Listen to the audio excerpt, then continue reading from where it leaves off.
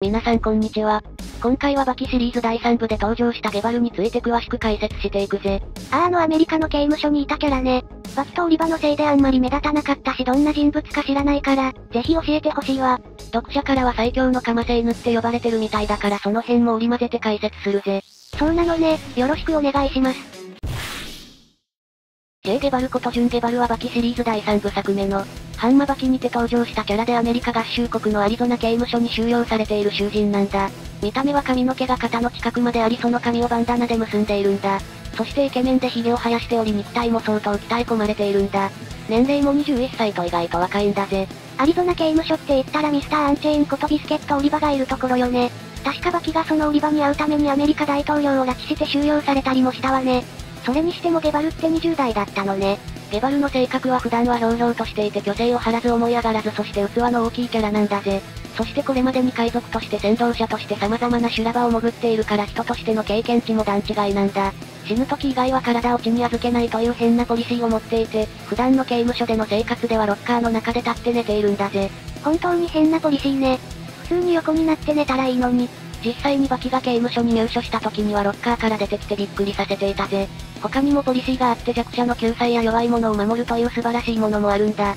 あとは喧嘩では誰にも負けたくないっていうバキのキャラではよくいるタイプだね。そんなゲバルはアリゾナ刑務所の中ではミスターセカンと呼ばれているんだ。これは実力が2番目ってことじゃなくて、2代目のミスターアンチェーンってことらしいぜ。ってことはゲバルはあのオリバに匹敵するほどの強さなのね。ちなみにアリゾナ刑務所って全米でも特に有名な凶悪犯罪者が収容される場所で、通称ブラックペンタゴンと呼ばれているんだぜ。現実の世界に存在するアメリカ国防総省本部は同じく五角形らしいから、モチーフにしたかもしれないね。犯罪エリート集団が集まっている中でもトップクラスに強くて誰もが認めている存在なのね。そんなゲバルは最大トーナメントに出場してしばき春に、負けたプロボクサーのアイアン・マイケルとアメリカ大統領を拉致したハンマバキ。あとはおじいちゃんと高身長の白人と同じ部屋なんだ。バキはいきなりミスターセカンと同じ部屋だったのね。強い者同士は引きつけられるのかしら。てかその白人はともかくおじいちゃんは昔よっぽど悪さしたんでしょうね。ゲバルはその部屋ではもちろんリーダー格で、刑務所の中でも牢屋を自由に出入りしたり何をしても監視からは何も言われないという特別な存在なんだ。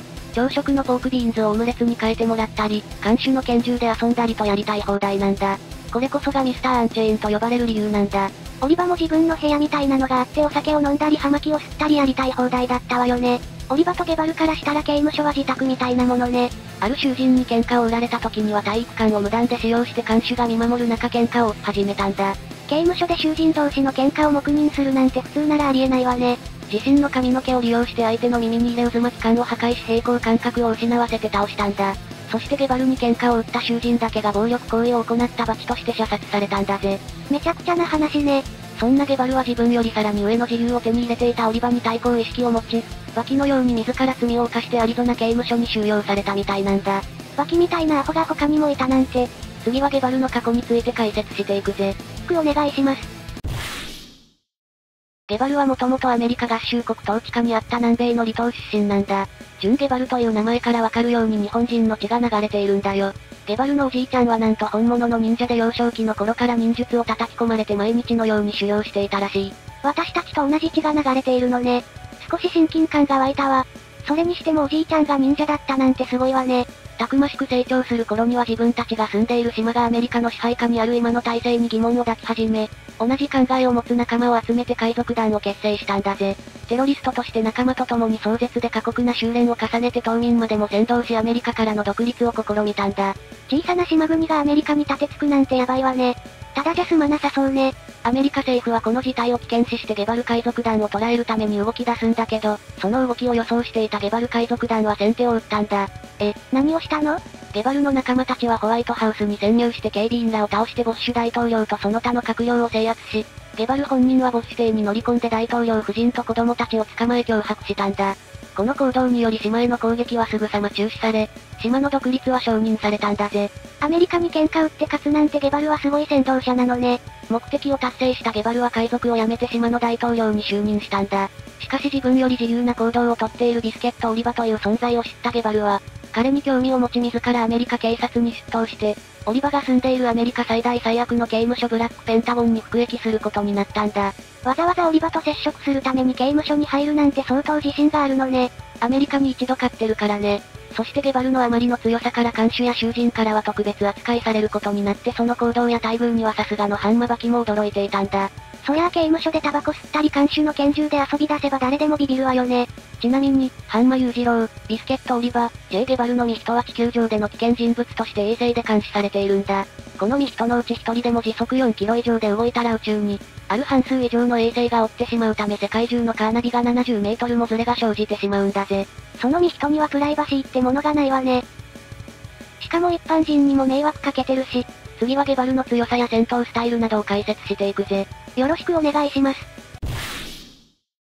ゲバルの戦闘スタイルは裕次郎やオリバのような力でゴリ押しするのではなくて、そこから教わった忍術を使ったトリッキーな技で相手を翻弄するような戦い方なんだ。この忍術を極めれば打撃や刃物はもちろん銃器、爆発物まで体一つで対処できるほどなんだぜ。アメリカ軍に勝てるほどだものね。かなり強いわよね。あと体の重心を使うのも上手くてゲバルよりもはるかにでかくて体重の重い元力士でも持ち上げられないほどの腕前。その技を利用して足場を斜めでなく縦に使うことでパンチを地球の核と一直線上の繋がるように放つことができ、威力を爆発的に上げることができるんだ。体の使い方がかなり上手いのね。ゲバルは同室のアイアンマイケルが、先手生命を奪うように裏取引を行っていた監守のマウス、と呼ばれるミヒトのうち一人にやられている時に割って入ってきてそのうちの一人タングを、地球の核パンチでアッパーカットを決めて2回ほどの高さまでぶっ飛ばしたんだぜ。他のキャラと比べるとそこまでごつくないのにそこまでの威力が出せるのはすごいわね。ちなみにマウスとはマイケルが出所後ボクシング界で活躍をすることを恐れたボクシング協会の会長から命令されマイケルを、揮できないように痛めつける使命を持った唇リップ、ハブース、下タングと呼ばれる2人組なんだ。3人同時に声を出すことができ聞く方はめちゃくちゃ混乱するんだ。それぞれが空手やボクシング、柔道などの格闘技を学んでいる上に2人同時にコンビネーション攻撃を、仕掛けてくるからさすがのマイケルも手も足も出せずにボコボコにされたんだぜ。なんかめんどくさそうな相手ね。3対1でも平気で仕掛けてくる小悪さもあるし、ゲバルはそんなマウスをも手玉に取るほどの強さだったんだ。マイケルを倒し油断しているところに風車と共にコロコロとでんぐり返しをしながらゲバルが登場。いきなりのことにあっけに取られたマウスは集中力にかけ得意の陣形を作ってもゲバルの奇策。小便まき散らしで崩してしまい完全に流れはゲバルのものになったんだぜ。ゲバルお得意のトリッキーな仕掛けがマウスたちをうまく崩したのね。マウスも反撃に出るんだけど風の力を利用したり顔に泥で模様を描いたりして本気を出しあっという間に倒したんだ。そして次はとうとうオリバとの戦いを詳しく解説するぜ。ゲバル VS オリバ。凄まじい戦いになりそうね。決戦前日にオリバはめちゃくちゃ太った性格の悪い彼女マリアに愛と勝利を誓い、ゲバルは同じ部屋の囚人にある特別な壺を持たせていたんだ。その壺は自身の島に住んでいる子供が荒れ狂う岸壁で雷や雨風、勇気を詰め込んだものなんだ。当日オリバはマリアを会場にベッドごと運び入れ、ゲバルは壺を開けて力を得てお互い準備万端。そしてついにアリゾナ刑務所の全監守、囚人が見守る中アンチェイン同士のぶつかり合いが始まったんだ。オリバとゲバルといえど囚人の二人の喧嘩を止めもせずに全員で感染するなんて他の刑務所なら異常事態よね。ゲバルはいきなりバンダナを差し出し、そのバンダナの両端を握りながらただひたすら殴り合う。ルーザールーズという中世の伝統的な対決を提案したんだ。握力に自信のあるオリバはこれを快諾し殴り合いがスタート。ゲバルが先に仕掛けるもののオリバは全く効いていない様子なんだ。あのオリバのぶっとい首とか腕を見ると打撃くらいじゃダメージはなさそうよね。さらにオリバはゲバルを挑発するようにバンダナを小指と親指だけで掴むというナメプを披露。負けじとゲバルは髪の毛を針のようにして飛ばしオリバの目に突き刺すというお得意のトリッキーな技で応戦してひるんだところを攻めまくり、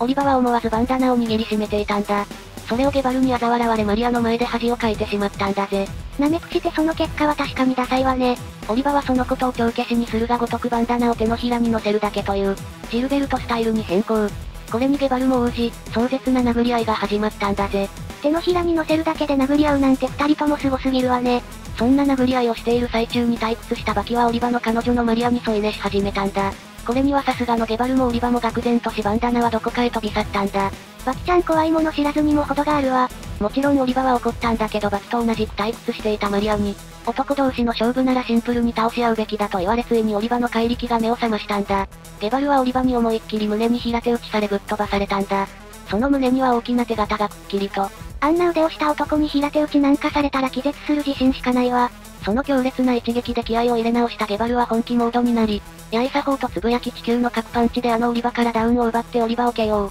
そしていきなり現れたボッシュ大統領からは祝福と降参の意味を込めた土下座をされ、裕次郎からは地上最強はお前だと、告げられる。という夢を見ている頃には地面にめり込むほどのパンチをカウンターで受け KO されてしまったんだ。ゲバル自身も途中から夢の中でこれは夢だと気づいていたわよね。オリバのパワーとタフネスはやっぱり化け物ね。そんな二人のアンチェインの死闘が終わった後ゲバルは自身の島で使える通貨をオリバとマリアに渡して、服役中にこっそりと掘り進めていた穴から脱獄したんだぜ。あの戦いでオリバとマリアを島に招待したいって思ったのね。それにしてもアンチェインなんだから堂々と門から出ていけばよかったのに。多分アリゾナ刑務所のことを考えての行動だろうね。その後はバキがオリバに挑みバキシリーズ史上最高の殴り合いを見事バキが制し、あのオリバに打ち勝ったんだぜ。この結果から読者からはゲバルは最高のカマセイヌだという風に言われてしまっているんだ。まあ確かにそう思われてもしょうがない展開かもね。ゲバルは裕次郎やオリバと同じような立ち位置でアンチェインと呼ばれたり、先祖が忍者で自分自身は海賊だったりと設定が凝ってる割にはこの監獄編以降は一度も登場していないし、作者の板垣先生は監獄編でゲバルというキャラを出し尽くしたのかもね。バキは個性的なキャラが多いからね。新シリーズも出てるしいつか再登場することを楽しみにしとこうかな。それじゃあ今回はこの辺でゲバルについての解説を終わりにするぜ。監獄編だけでの登場だったけどキャラ設定から強さ、戦闘スタイルまで個性的なキャラだったよな。また再登場することを俺も期待するぜ。他にもゲバルについて知っていることがあったらぜひコメント欄で教えてほしいぜ。この動画が良かったと思ったらグッドボタン、チャンネル登録もお願いするわ。それでは皆さん、ご視聴ありがとうございました。